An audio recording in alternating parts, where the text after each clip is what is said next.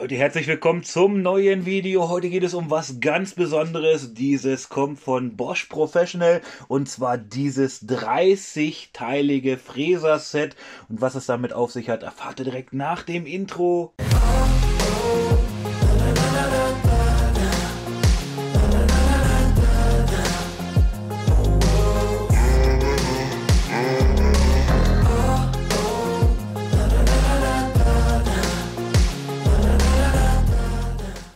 Ja, wer Bosch Professional kennt, der wird es auch zu schätzen wissen. Jetzt hier ein 30-teiliges Fräserset. Wer die Oberfräse vielleicht von Bosch schon hat oder irgendeine andere Oberfräse oder vielleicht Fräsertisch, der wird wahrscheinlich irgendwann darauf kommen und sagen, Mensch, irgendwie brauche ich noch mal so ein Fräserset, dass ich irgendwie alles bei Hand habe. Wenn man eben sonst alle Fräser einzeln kaufen würde, kommt man auch gut mal auf 30, 40 Euro pro Fräser.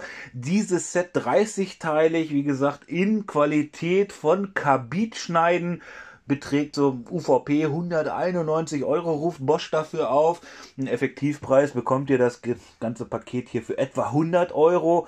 Ich verlinke es euch unten, dort könnt ihr euch den tagesaktuellen Preis dann abrufen. Es gibt das Set auch als 15-teiliges Set. Dazu habe ich bereits ein Video gemacht, ist unten in der Videobeschreibung auch verlinkt. Wer sagt, ne, ich brauche jetzt nicht ganz so viele Profile oder irgendwie was, der kommt vielleicht mit dem 15-teiligen Set auch hin. Guckt euch das auf jeden Fall in Ergänzung dazu auch nochmal an.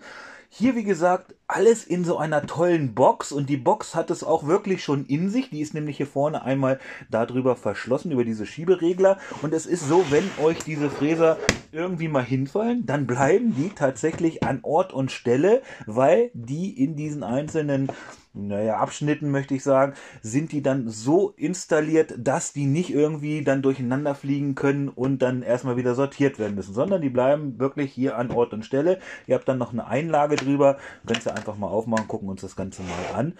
So, da ist dann wie gesagt hier noch so eine Plastikschutz mit drüber. Und selbst hier drin sind diese Fräser dann nochmal in so eine Nut reingesteckt, dass ihr das dann zwar als Easy Pick bezeichnet, Bosch das Ganze, dass ihr das Ganze dann zwar sehr, sehr einfach rausnehmen könnt, aber dass es dann eben trotzdem überall dann fest ist. Und wenn ihr das Ganze dann mal hochnehmt oder schräg stellt oder sowas, dann bleibt das wie gesagt immer noch an Ort und Stelle. Ich habe hier die 8 mm Schaftversion, es gibt auch eine 6 mm Schaftversion. Und, und dann gibt es noch eine Zolllösung Lösung mit dabei. Könnt ihr euch dann alles angucken, ist alles wie gesagt unten verlinkt. Hier haben wir noch ein paar Ersatzkugellager oder generell Kugellager, die wir noch mit draufbringen können. Ein Inbusschlüssel ist hier noch mit dabei, sodass wir das Ganze nochmal umkonfektionieren können bei Bedarf. Wie gesagt, guckt euch das Ganze dann mal an, ob euch diese Sachen hier liegen.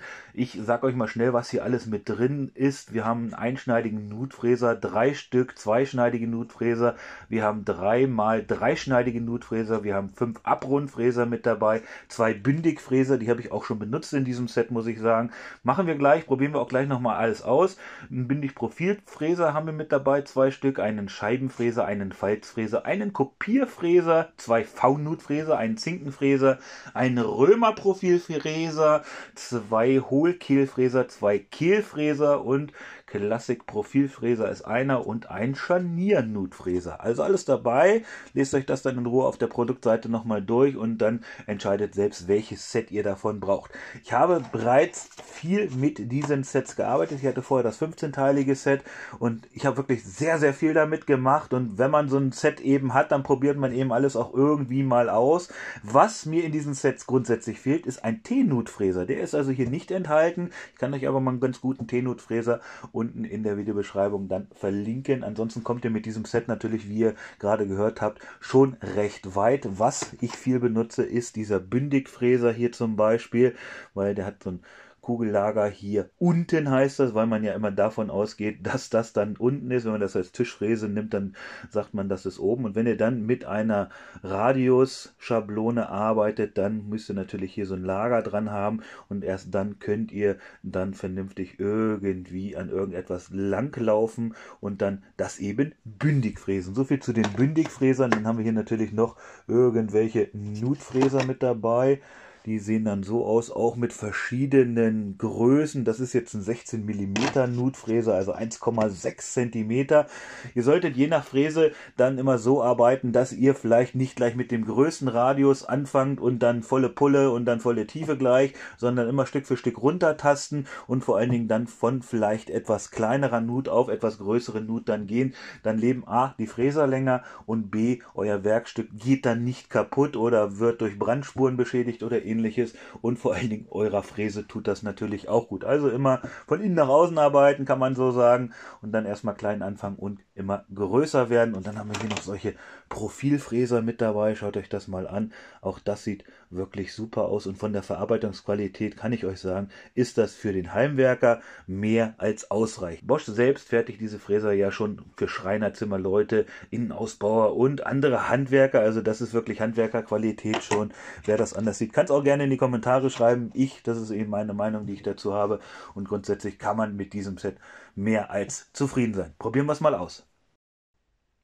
So, ihr seht, ich bin nach draußen gegangen, bin jetzt bei meinem Frästisch. Ich habe das hier als Crack-Einlegeplatte und Triton-Fräse in meine GTS 10 XC Kreissäge von Bosch auch eingebaut. Das bietet sich einfach bei dieser Säge an. Habt ihr sicherlich schon auf anderen Kanälen auch gesehen. Vorteil ist, dass ich eben die Triton Oberfräse dann von Tischseite her, also von oben her verstellen kann in der Höhe und das Ganze absenken kann oder anheben kann.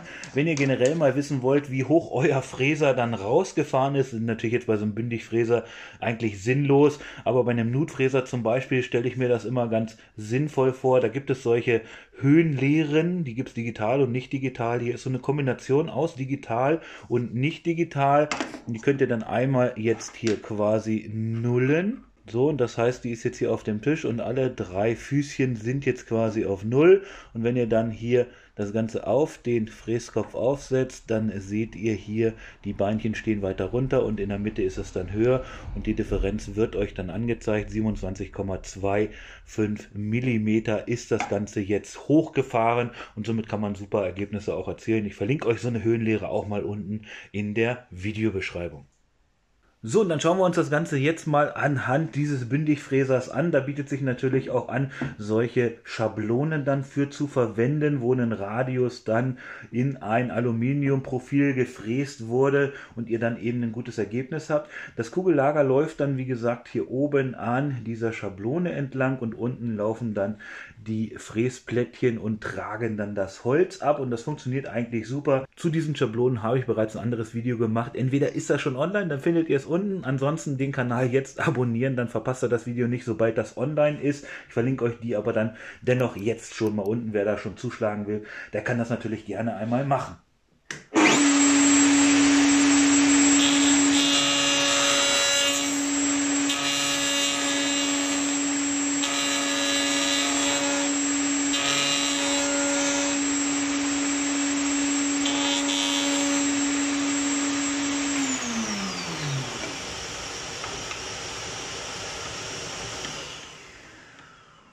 So, das war jetzt hier ein bisschen zu tief gestellt.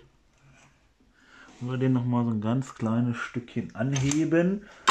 dann machen wir das Ganze nochmal.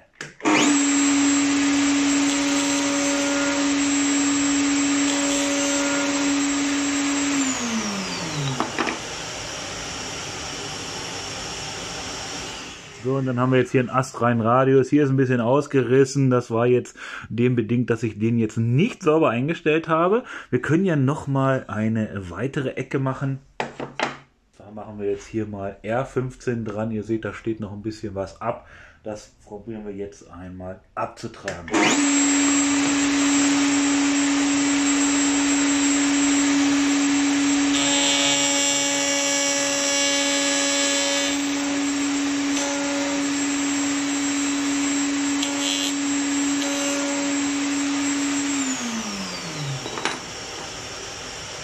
So, und das sieht dann schon deutlich sauberer aus. Wenn man jetzt noch mal ein bisschen mit ein bisschen Papier drüber geht, dann ist das schon super Sache. Und ihr seht, ihr könnt mit solchen Bündigfräsern einiges machen. Sogar wenn ihr dann noch in Erweiterung solche Schablonen dazu kauft, dann ist das sicherlich nicht verkehrt.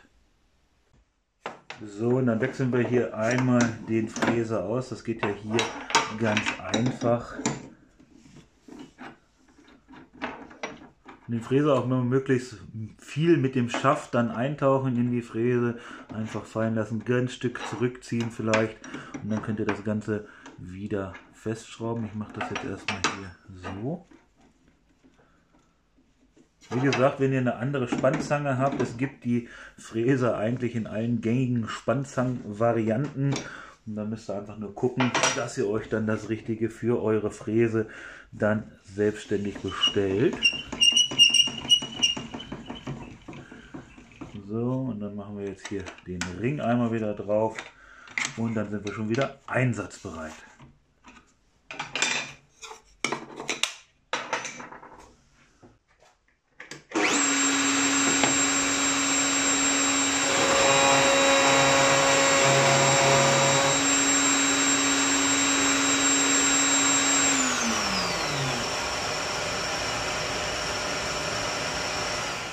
So, und da seht ihr selbst bei Hartholz kriegen wir hier ein einwandfreies Profil mit rein. Ich kann jetzt keine größeren Leisten hier drüber machen, weil meine Platte sich hier so ein bisschen abgesenkt hat über den Winter. Jetzt muss ich das erst wieder anheben. Das ist halt der Nachteil, wenn man jetzt eine Fräse unterhängt, dann zieht diese Platte irgendwann, egal ob das jetzt 30 Millimeter starke sogar ist, dann irgendwann nach unten. Man muss das dann halt von unten abstützen, da müsst ihr dann eben drauf passen. Ihr seht, hier habe ich so einen kleinen Rand mit dran und das muss man erst beheben. Dann kann ich hier wieder etwas größere Leisten drüber ziehen. So, nun habt ihr die Fräse im Einsatz gesehen, war jetzt nur ein kleines Beispiel. Natürlich haben wir jetzt hier noch zig andere Fräser mit drin, die könnten wir jetzt alle noch ausprobieren. Schaut euch hier mal die Klingen an. Letztendlich, da ist jetzt also überhaupt nichts bei aufgetreten, dass die irgendwie jetzt kaputt wären oder sonst was. Die sind scharf wie sonst was auf jeden Fall. Und da gab es jetzt kein Problem mit. Sehen jetzt natürlich ein bisschen benutzt aus, aber sind scharf und sind unbeschädigt. So, dann räumen wir das Ganze hier mal wieder ein. Ich denke, ich konnte euch jetzt zeigen, dass man mit diesen Fräsern auf jeden Fall arbeiten konnte. Wenn euch das Video ansonsten Spaß gemacht hat, wenn es euch gefallen hat, wenn es ein paar Fragen beantwortet hat oder euch inspiriert hat, lasst mir gerne einen Daumen hoch da. Ich sage Tschüss, bis zum nächsten Mal. Bis dahin.